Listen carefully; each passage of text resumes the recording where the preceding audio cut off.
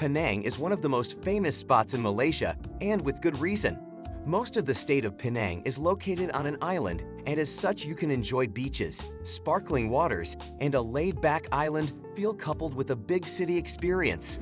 This part of Malaysia is also known for its food, and anyone who loves to eat will truly find a culinary paradise here, much of which is down to the mix of influences in the city.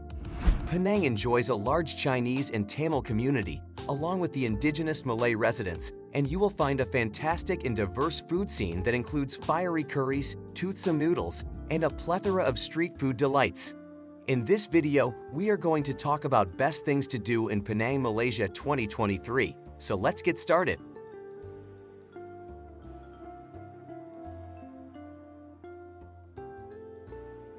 Have lunch at Pelita Nasi Kandar. Pelita Nasi Kandar is known across Malaysia and is not to be missed if you want to try some of the best local food in Penang. Nasi Kandar is basically rice which is heaped with meat, fish, seafood, and vegetable side dishes, and is then liberally doused in delicious curry sauce. All the food is presented in a glass-fronted case, and you can simply point to what you want to eat and have it added to your plate. The food has a strong Tamil influence due to the local Tamil community in Penang, so expect Indian-style curries and flavors with dishes such as cabbage and okra, fried with mustard seeds and turmeric. Have a cup of tea at Huang Chen Tao Tea Art. One of the less known facts about Penang is that it is covered in dainty little tea shops thanks to the strong Chinese influence in this city. Many of the tea houses sit in shop houses, and it is easy to walk past and miss one without realizing the delights that are contained within. Huang Chen Tao Tea Art is one such place and you will find a traditional Chinese tea supplier here with packets of tea stacked all over the shop.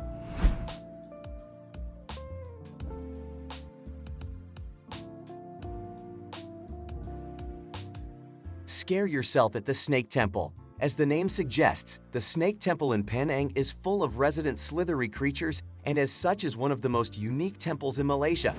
Most of the residents here are pit vipers and the temple dates from 1805 when snakes found their way to the building and the benevolent monks allowed them to take up residence here.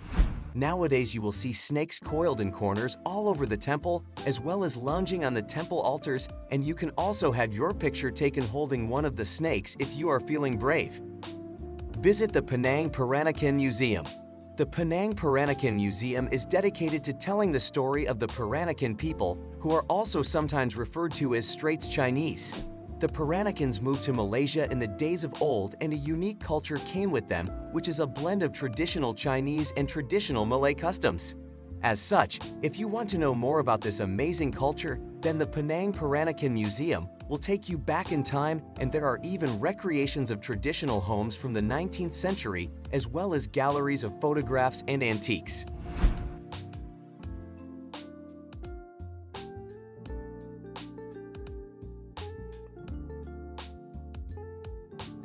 Visit Khoo Kongsi. Is another one of Penang's most iconic attractions and used to be a clan house in the days of old. Nowadays, the home has been turned into a museum, and you will find gorgeous architecture here, as well as elegant stone carvings that have a heavy Chinese influence.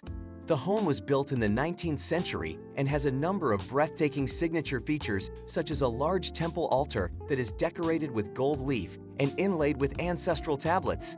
You can take a tour of the house, and if you happen to be in town at the right time, you may even be able to watch a Chinese opera show here as several performances take place throughout the year. Have afternoon tea at Suffolk House. Suffolk House offers a glimpse of traditional British colonial architecture in Penang and sits in the scenic part of the island known, rather alarmingly, as Air Itam or Black Water. The house would have been the former home of Sir Francis Light, who is remembered as the official founder of Penang, although it fell into disrepair following his death and was closed to the public. It reopened in 2007, having been lovingly restored over three years, and now you can take a guided tour that will fill you in on all the history of this spectacular building.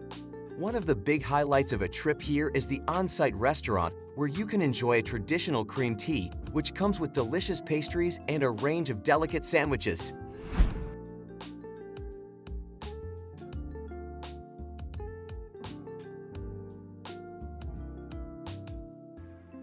Sunbathe on Batu Ferringhi Beach.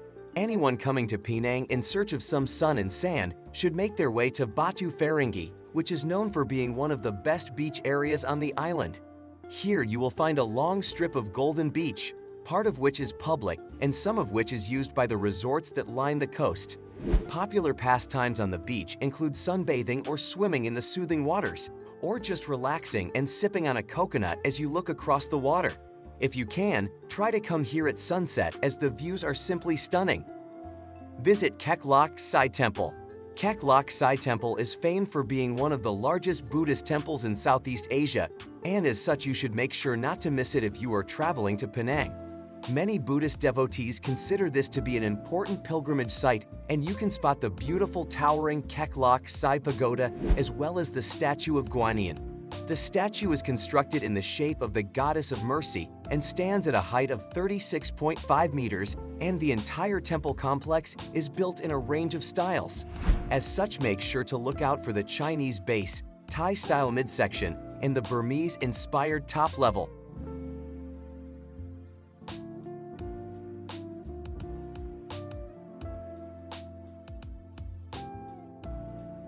Learn some history at Fort Cornwallis.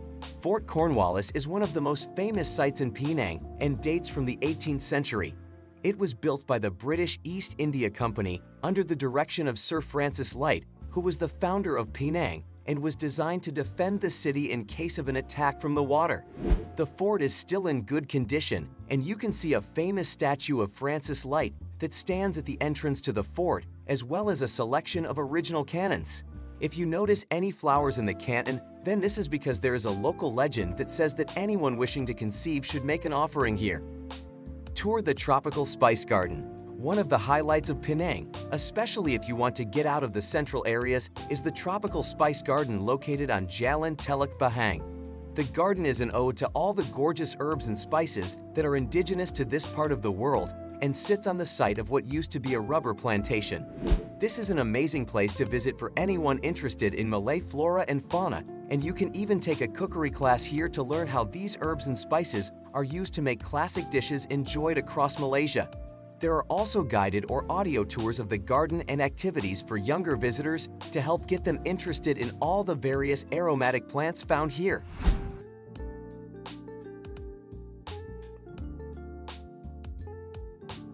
Thank you guys for watching.